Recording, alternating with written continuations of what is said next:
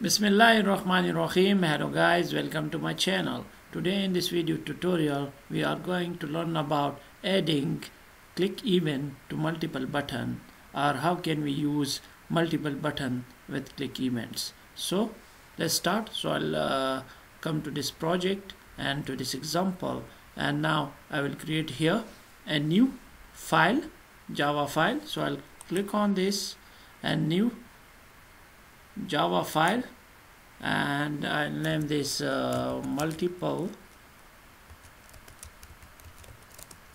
buttons event and now I'll click finish. Now the project is created so first we will create uh, a JFrame. So I'll come here to top and first we will create the uh, constructor of this class so I'll use public multi and control space and control Z this and I'll come here and I'll control space enter and now I'll put parentheses and then curly braces now we have created the constructor so now we will create a jframe. So jframe frame equals new j frame and I'll put semicolon. Now I have to import this frame. So I'll uh, import this. And now I'll uh, enter here. And now we will use frame date dot set default close operation and here I will use jframe dot exit on close and now we will use uh, frame dot dot set bounds. This one and now I'll use uh, 0 0 and uh, 500 and 500 now it is uh, it will create a 500 cross 500 JFrame now here I will use a container. So con container container equals frame dot get the content pane semicolon and now I'll import this container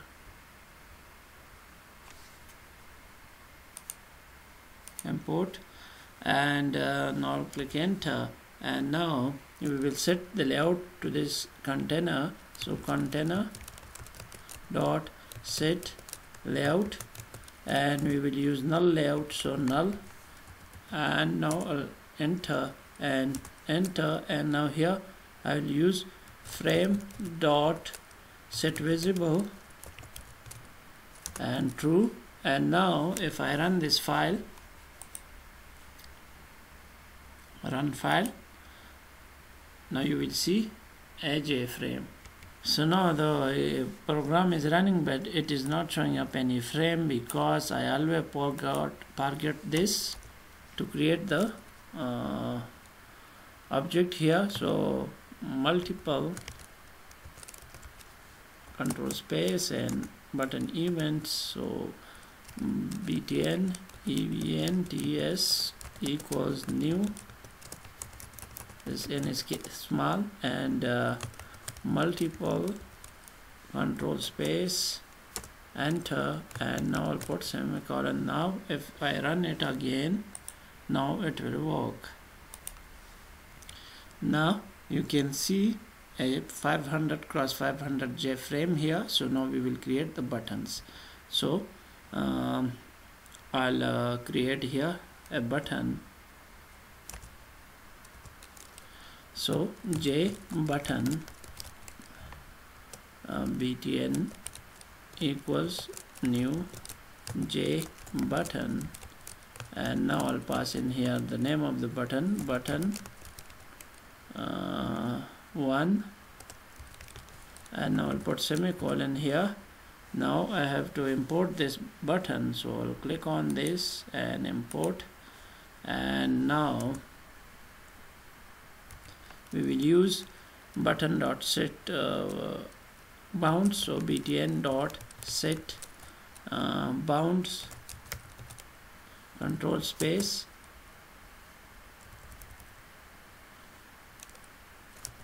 Bounds. And now I'll pass in uh, 100 and now here I will pass uh, uh, 10 and here I'll pass this is the width so I'll pass uh, 200 and for height I will pass uh, 40 and now I'll add this button to the container. So container control space dot add component. And now I'll uh, add btn is also already added so I'll put semicolon now. If I run this file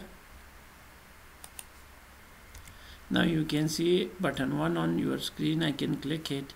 Now I'll move it a bit that side too so I will make this 150 now I'll copy this. Control C this. And now I'll control V it here and then I'll control V it here.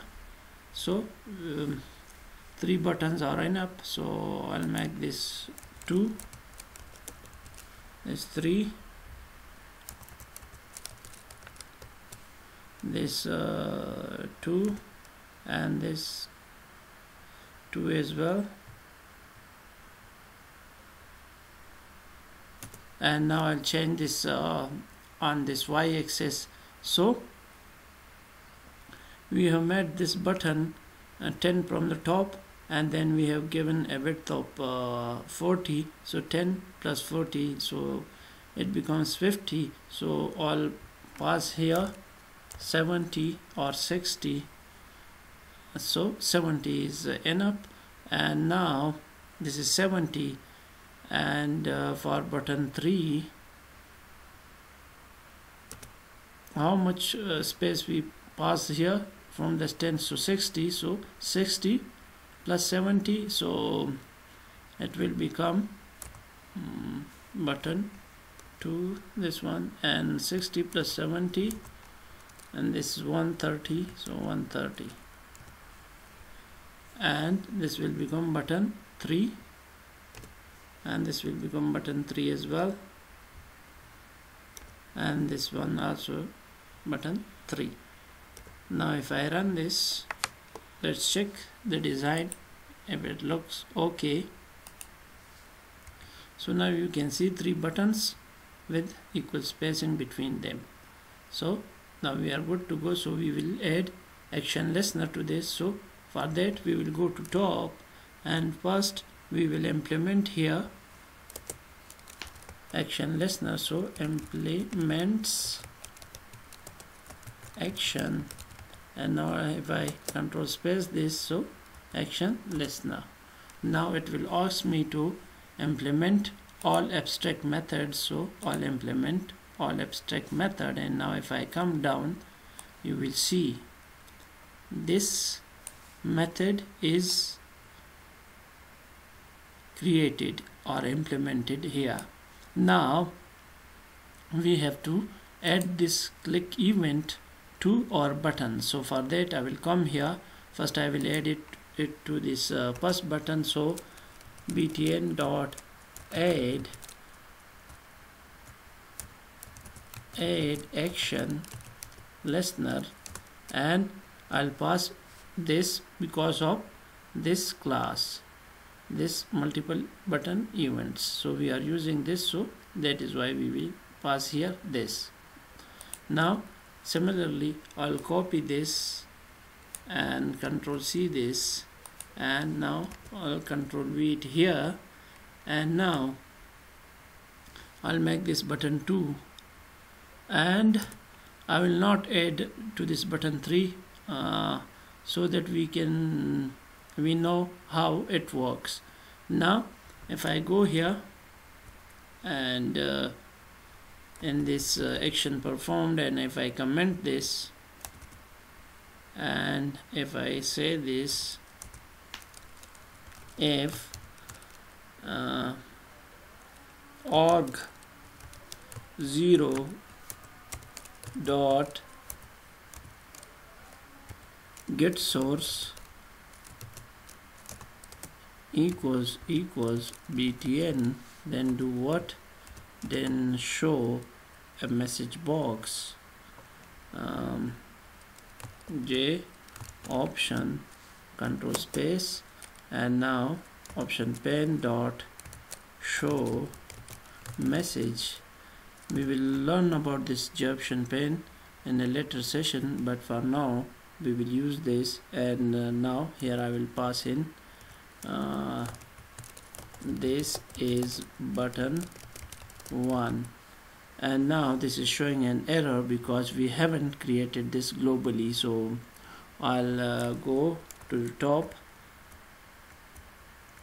and I'll create a J button here. I'll remove this and J button uh, btn comma btn 2 comma btn 3 semicolon and now I'll go down and remove this button J button from here. This one as well because now we have created our buttons globally so that we can access it everywhere in our program. So now this button had stopped uh, showing error. Now this parent component is uh, showing error. So to fix this we have to uh, create our frame globally as well jframe. So I'll come here and here I will use uh, jframe and uh, frame semicolon and now here from here I will remove this and now we will go down and pass in frame here because that is our root pane. So frame. Now we are good to go. Now I'll copy this and uh, paste this down control C. And now if I paste it here control V. And now I'll make this button 2 and this uh, 2 as well. And now I'll paste it once again control V and now I'll make this uh, button 3